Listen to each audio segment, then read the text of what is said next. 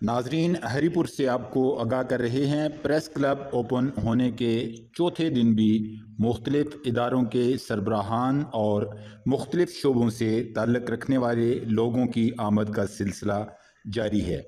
अब से कुछ देर कबल आल पाकिस्तान क्लर्क एसोसिएशन ज़िला हरीपुर के सदर Akhtar Nawaz Khan, chairman Raja Zubair, general secretary Malak Amjad के अलावा आल पाकिस्तान क्लर्क एसोसिएशन ज़िला हरीपुर के अहदेदारान प्रेस क्लब तशरीफ़ लाए।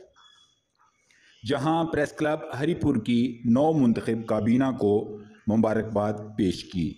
इस वक्त आल पाकिस्तान क्लर्क एसोसिएशन के तमाम अहदेदारान प्रेस क्लब हरीपुर में सहाफ़ियों से गुफ्तु कर रहे हैं।